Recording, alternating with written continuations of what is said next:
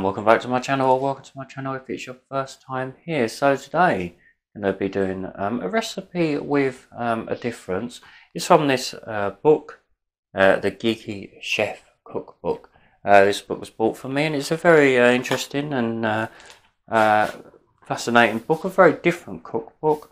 Um, so it's got basically it's got recipes based on um, TV, film and video games. There's various um, different ones in here. And you've got some inspired by Star Trek, um, some by inspired by Star Wars, Legend of Zelda. So there's a, a variety of different ones. And I'm sure I'll do some more in the future. But today, we're going to do one, a beef and bacon pie, inspired by a song of Ice and Fire and Game of Thrones.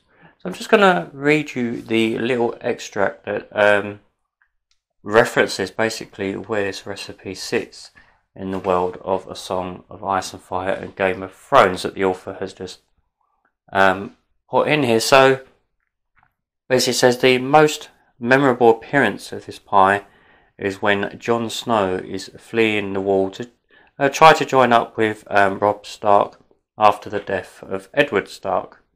Uh, feeling particularly homesick, he wishes he could hear Bran's laugh or one of old Nan's stories, or eat one of Gage's, who was the head cook of Winterfell, uh, beef and bacon pies.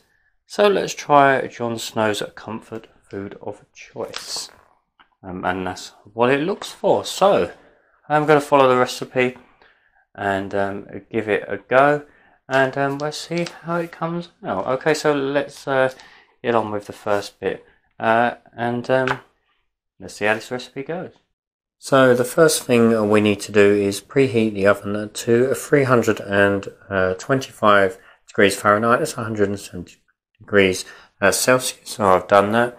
Uh, and then what we need to do is we just need to um, season uh, our beef. I've got um, 454 grams of um, stewing beef that's just been cut. Uh, that's about a, a, pound in weight. Because um, this is an American book, um, uh, they do give the American um, conversions first, but they've given the uh, what we tend to use in the UK um, as well, which is good. So there's no need to convert. So um, it's easy to follow uh, depending on which country you're in. So and what we need to do is season the beef with some salt and some pepper. So just season with a little salt. That mix in. And then just season with a little pepper as well. Obviously when I do recipes I normally um, adapt them how I want to.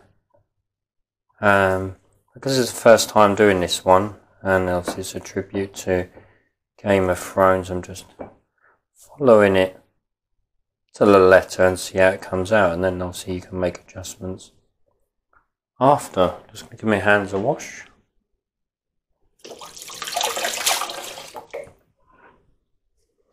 Okay, so then what we need to do now is it calls for the um, beef to be cooked um, in a Dutch oven. Now, if you're like me and you don't have um, a Dutch oven, um, you can use um, a cast iron um, casserole dish, uh, which is what I've got here. Um, and there is some um, preparation um, when you buy one of these. you just need to wash it in some warm soapy water, which I've done because it's my first time using it.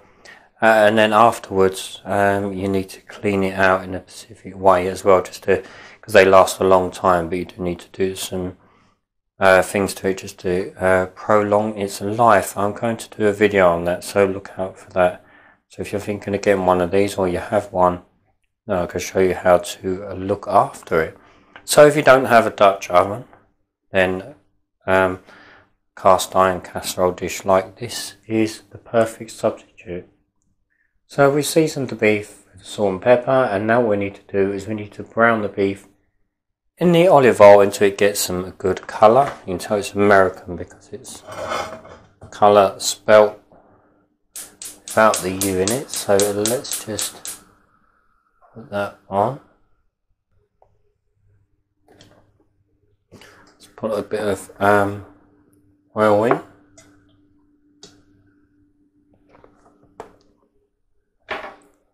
I'll just let that heat a bit.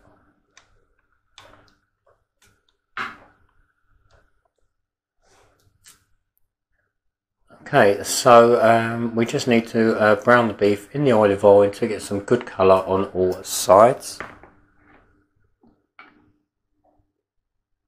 So I think that's nearly heated up.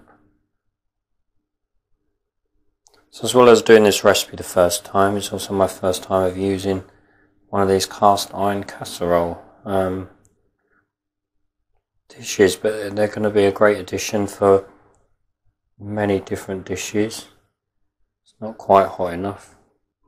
Just give it a couple more seconds, I think. Okay, that's uh, there now.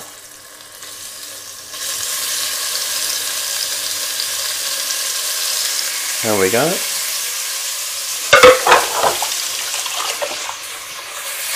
Wash my hands.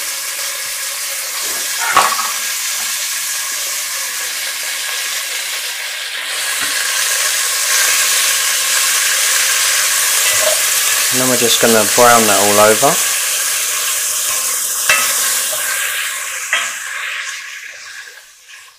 So the recipe says just want to get uh, some good colour on it.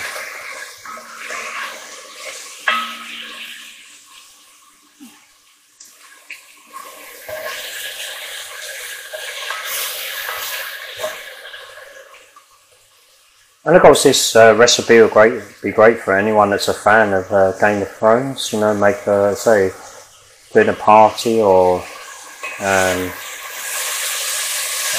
Game of Thrones celebration or something.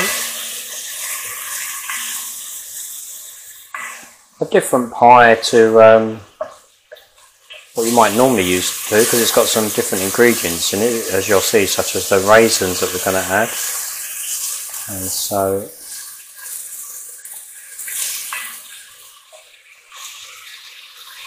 Nearly there, you can see it's uh, getting some good colour on it.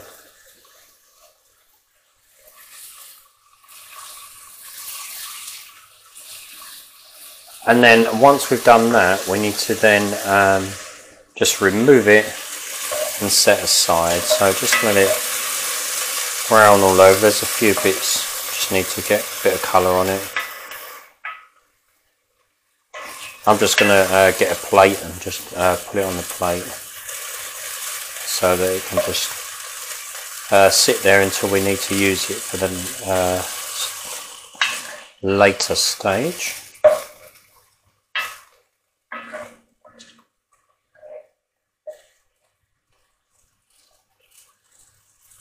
nearly there. I'm using um, a slotted spoon to uh, for when I take the meat out because then that way um, any fat can just fall through it.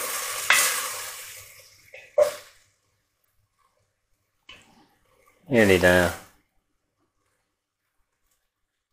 So I think that's about there so I'm going to um, just remove it and put it onto our plate.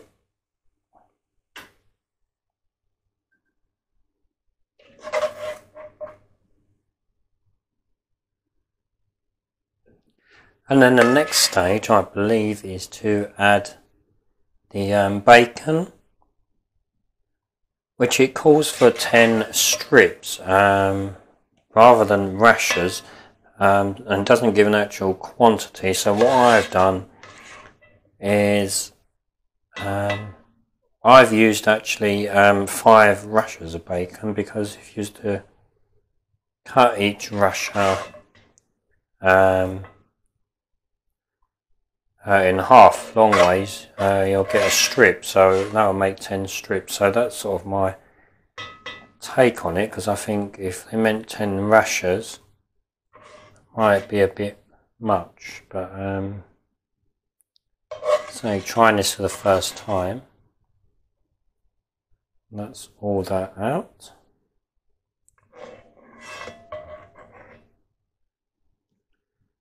Okay, and we've got um, obviously some uh, oil and uh, fat left in there, so we won't need to add anything, and obviously the bacon is going to produce its own fat as well, so we won't need to add anything else to that.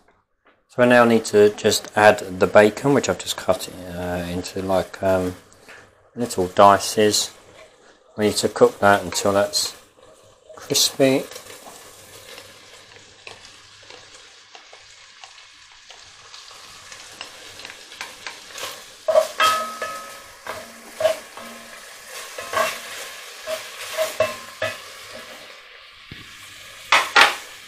Like I say, I haven't added any more oil or anything because still got some in there from uh, what we added previously and also from the meat as well. And also the bacon will release its own fat as well. This is thick cut bacon, that's what the recipe calls for. Um, I've used unsmoked, it didn't specify um, in the recipe. Um, I've just used unsmoked, obviously uh, you use what you want to use. I think just as long as it's thick cut. We just need to get that nice and crispy. I think what I've noticed so far about these um, cast iron casserole dishes is uh, the stuff doesn't stick and I think that's why it's important to um, look after them. Like I say I will do a video I'll post that shortly so if you want to reference how to uh, look after them. I always find personally myself that watching a video is sometimes a lot better than um, if you're reading how to do it. When you're watching someone actually do it it sort of makes a bit more sense I think. So that shouldn't take too long now uh, and then once that's nice and crispy, we've got to remove that um, as well and just set aside. Um, and then we're going to start doing, um, uh, add the carrots next. And again, we're using a slotted spoon because it says you uh, leave the bacon fat behind because we're going to cook the carrots in that so the carrots will absorb that nice flavour from the meat and the bacon as well. So I'm really excited about this recipe actually. I love trying new recipes and um, especially as this one is themed around Game of Thrones which uh, one of my favourite TV series is.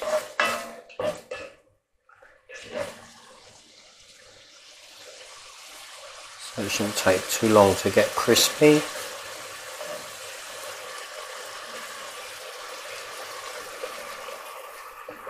And the dish, as you can see, is nice and deep as well. So, you know, you're cooking any casseroles or stews, it's going to be great for that as well.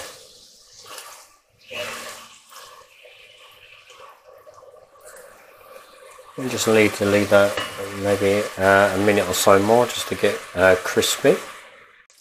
So I would say that's now about there. So I'm just going to remove it and put it on our plate. I've just put the meat to one side and then I'm going to put the bacon on the other side. Just going to drain the fat off. Uh, and then we're going to add our carrots next to the fat that's already in there.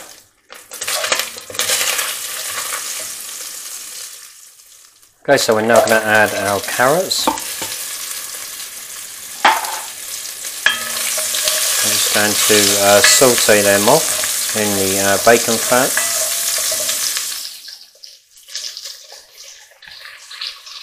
So I said add the carrots to the bacon fat and saute until they are softened. Um, and then we're going to add the onion after that. So for the carrots, we've got two carrots which have been roughly chopped and then we need one onion uh, which we're going to add to that as well.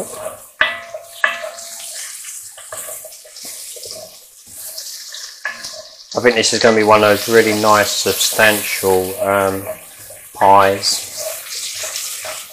Um, and uh, of course having beef and bacon, that's a nice combination. So the carrots um, have started to uh, soften now, and we're now going to add our onion.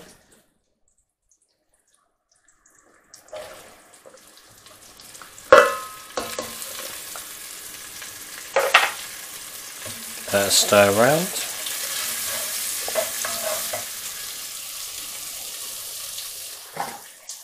Um, and it says uh, keep cooking until the onion is soft and beginning to caramelise. Um, and then when we get to that stage, once the onion's nicely caramelised, we need to add the beef back to the pan.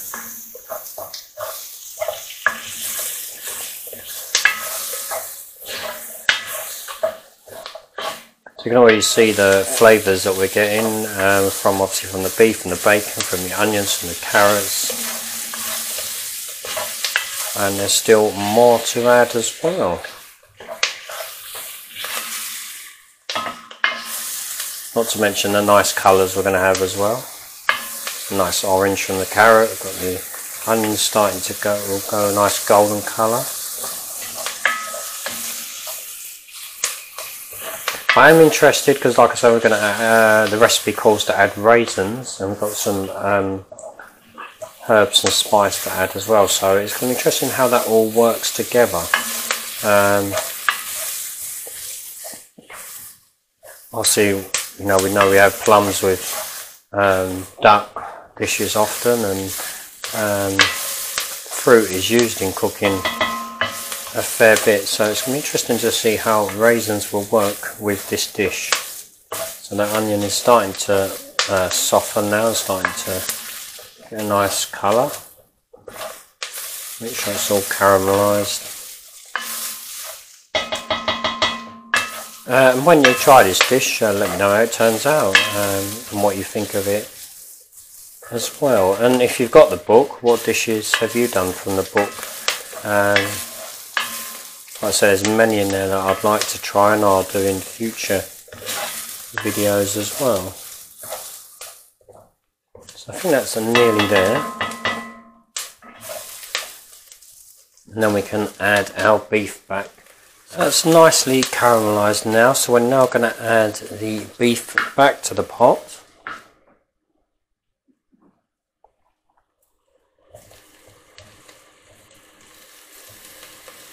Let's get that all in.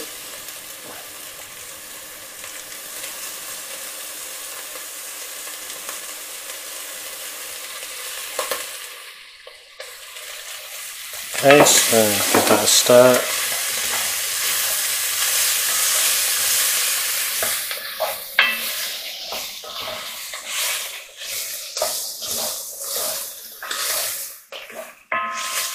It says add the beef along with the red wine. Okay, so the wine we've got is um, 240 millilitres. That's one cup of red wine.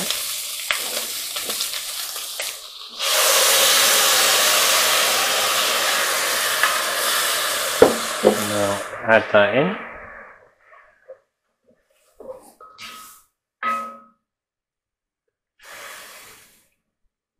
Um, along with the beef broth. So the beef broth, we've also got the same uh, amount, 240 millilitres. That's one cup.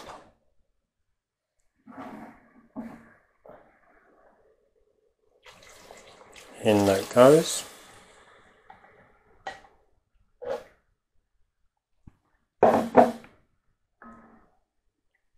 I can smell that uh, wine.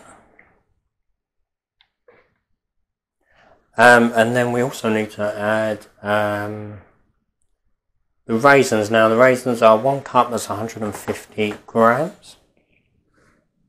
So let's add them in. And stir.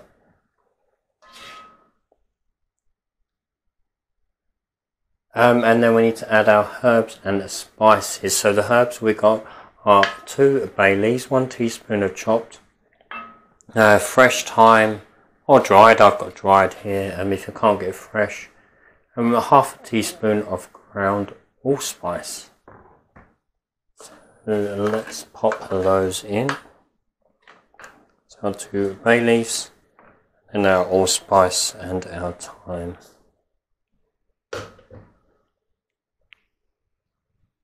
Let's get that mix.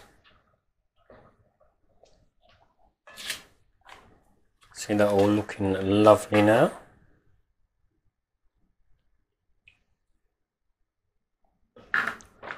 Okay, and, and then uh, once we've done that, it says use a wooden spoon to scrape up any brown bits sticking to the pot and incorporate them with the broth and the wine. Okay, so we will change to a wooden spoon. Scrape around the side.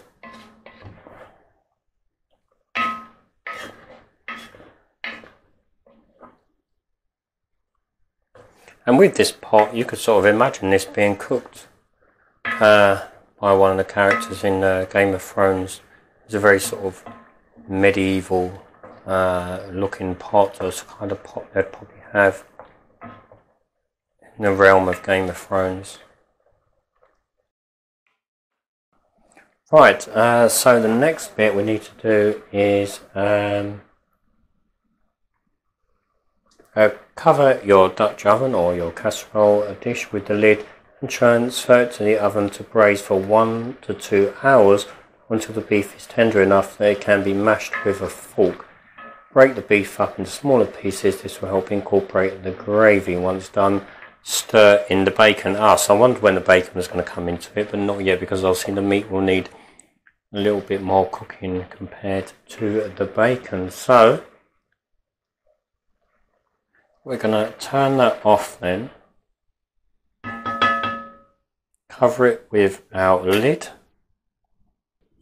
And obviously we've already preheated the oven. So we'll put that in the oven and for one to two hours, say or until the beef is tender enough that it can be mashed with a fork.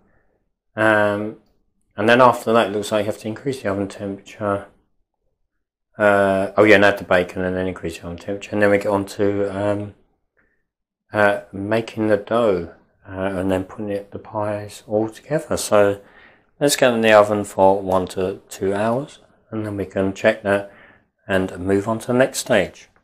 So after about an hour, um, you can see that I can now, with a fork, break up the um, pieces of beef. So just need to do that and then what we're going to do it says to um, increase the oven temperature to 375 degrees Fahrenheit. That's 190 degrees Celsius. Just going to give that all the beef a bit of a mash and that will help incorporate the gravy and then we're just going to stir in the bacon smelling lovely I must say you see how it's reduced down nicely and got a lovely colour on it as well. Okay, so let's now stir in the bacon.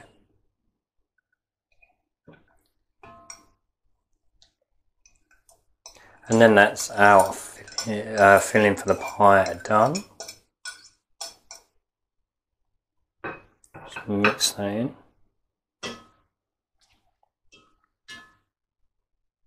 So the next stage is to roll out the pie dough. Um, there is a reference in the book how to make it. Obviously, I'm going to talk you through it as well. Okay, so um, we can remove bay leaves now as well because they've done their job, and that's how pie filling ready. What we're going to do is now uh, make the pie dough, and then it'll be ready to um, roll out and put into the uh, ramekins and fill with the um, delicious mixture that we have here. So to make the pastry I've got 310 grams that's two and a half cups of all-purpose flour um, of course in the UK we just uh, call it plain flour so that's what you need to use um, and it says about uh, doing this in a food processor, but I prefer to do it by hand. Obviously, um, you do it how um, you find it best. Uh, and then what we're going to do is we're going to add to that um, one cup or two sticks, that's 240 grams of unsalted butter that has been chilled. Of course, it's very important to keep uh, the butter chilled when making pastry. And then we've also uh, got about six tablespoons of ice water, uh, which I've just got in a cup here. Okay, so let's add the butter into the flour. Just get that all in there.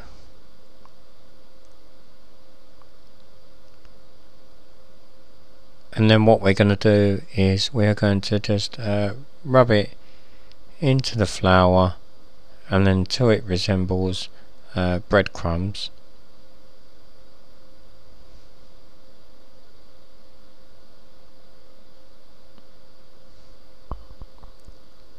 Like I say you could do it in a food processor. If uh, you find it easier just find uh, I prefer to do it by hand and just feel uh, better when it's reached uh, the required texture so just use your fingertips if you're doing it by hand, just to rub the butter in with the flour until it comes to like a breadcrumb uh, consistency.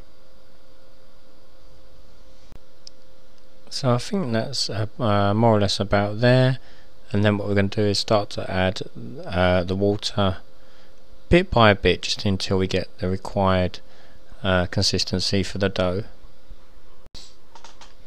So that's now nicely incorporated the butter and the flour together. And what we're going to do now is we're just going to add um, some cold water a little bit at a time. Don't do too much, just do a little bit at a time so you can um, get it to the consistency required. You don't want it um, too wet and sticky, just want it enough to form a ball which we're then going to divide into two, one for each of our pies. And there's another reason why I do it by hand because you can feel um, if it needs more water. You can see in the food processor if it's coming together easy. Uh, of course, um,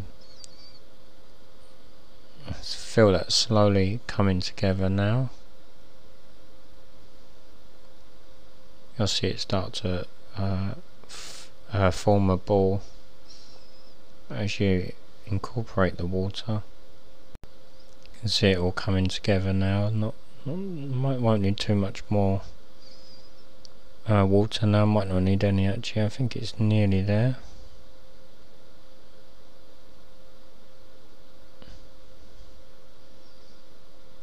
Yeah, that's pretty much there now. Just gather up any uh, loose bits. And there you have your nice uh, ball of pastry. So I've divided the pastry into two balls, one for each of the pies. And then what we're going to do is wrap it in some uh, cling film. Uh, and then we need to chill it in the fridge for at least two hours. Uh, and then it will be ready for us to roll out for our pies. So just going to get a bit of uh, cling film and just wrap each one securely in a piece of cling film and then that will go in the fridge Okay, just do the other one. And then they're ready to go in the fridge for at least two hours just to chill. So the uh, dough's nicely chilled in the fridge. So our two separate balls, one for each ramekin. And each ramekin I've just greased with some butter. Lightly floured the surface so we can roll our dough out.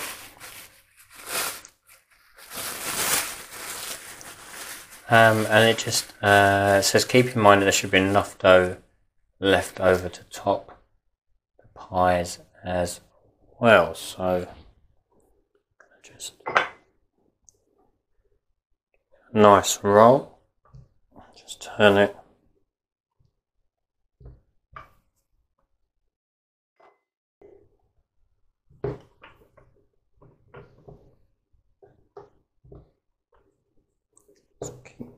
turning it and then we've got the desired thickness we can put it into our ramekins.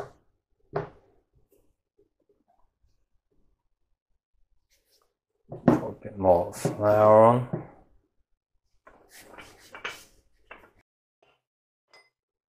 That's nearly the right thickness.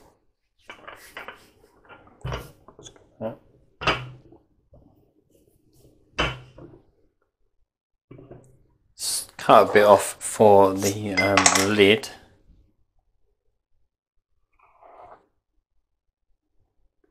We can keep that bit aside and then we can line the other bit up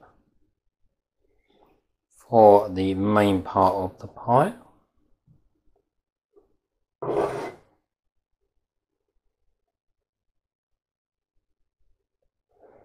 Let's get that in.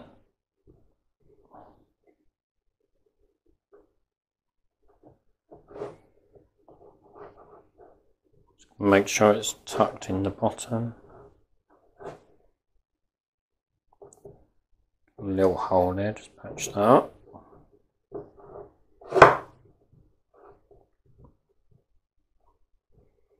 And then we can just trim away uh, any excess.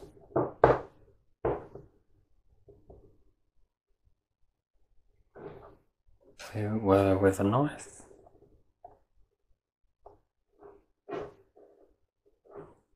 Going around the edge of that.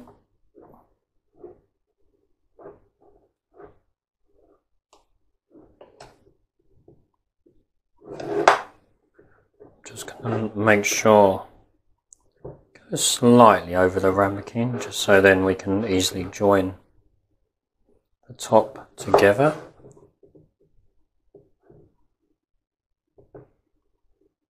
So that's that one done and then we will do the other one and then be ready to fill them. Okay, so both the ramekins are now lined with uh, pastry. So what I did uh, for the lids was I just, before I did the second one, I just uh, put the ramekin on the pastry upside down um, and then just um, pushed on it to imprint out a disc um, that will then just nicely sit on top. So now just going to spoon um, the mixture into um, each of our pie dish. We may actually have a bit left over. Um, if we do, obviously we can make another one. Two was the suggestion.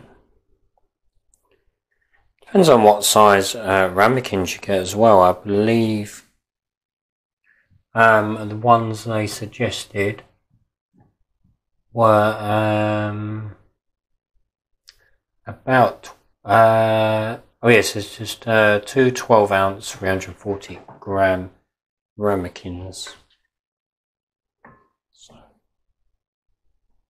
like I say, I'm excited uh, to try and see how uh, see how interested to see how these come out with all the different flavors we got in there from the beef, and the bacon. Um, from the raisins, from the spices and the herbs. It's smelling lovely.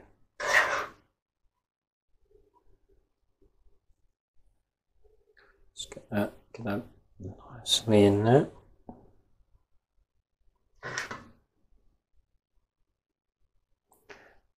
Uh, and then we will put the uh, lids on. Just going to try and get in there as much as I can. Nice, generous pie. A little bit more in there. Which, of course, pies always were very generous time. Uh, generously filled in, you know, the olden times, and no doubt, right in the Victorian Edwardian and medieval times. Not skimping on filling like you do with a lot of shop pies nowadays. When you make them yourself, obviously you can be nice and generous. So yeah, we've got a little bit left over. There's enough, I'd say, there to do um, a third pie. So it says now to yeah roll out roll out the remaining dough um, uh, for the ramekin lids, which we've done. I have cut off the excess and then crimp the edges of the pie to seal and then cut some fence into the top just to let the steam out. So I'm just going to crimp it with finger and thumb, just going around sealing it like that. Doesn't say to put any egg wash on it, so I'm just following the recipe. You know, normally it'd be a good idea to do that, but I'm just going to follow it. There we go, nicely all the way around there. And then with the other one as well.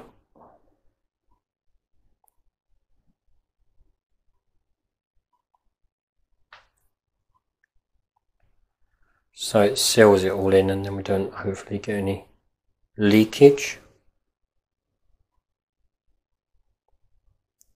Uh, and then it says bake the pies for about 25 minutes or until the crust is golden brown. Okay, so a couple of um, vents in the top, just let steam out. And they're going in at 25, uh, about 25 minutes at 375 degrees Fahrenheit, that's 190 degrees Celsius. And then we will see how they are when they come out uh, and give them a taste. So after about 25 minutes, they've come out nice golden colour on the top. So I'm going to give them um, a little uh, taste. Like so, I'm intrigued to see how these uh, flavours all work together. Get that filling in there. Okay, here we go.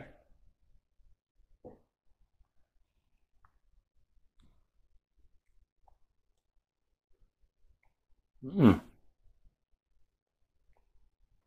The spices and the raisins, you can taste them, but they're very subtle. Um, I think it actually works very well together. So I hope you um, will give it a try yourself. And for the first time, I think they've come out um, relatively well, so I'm pleased with that. So I hope you will um, give them a go yourself uh, from uh, the Geeky Chef cookbook. Um, like I said, I'm going to do uh, some other ones in here because there's some really interesting ones based on various TV shows uh, and video games as well and films. So um, look out for that in a future video. Um, and um, if you found the uh, video enjoyable and you're going to try it yourself, please do give the video a like and consider subscribing if you haven't done so already. Ring that bell for future uh, cookery videos as well as other content as well. So thank you for watching and I'll see you in the next video. Take care. Bye for now.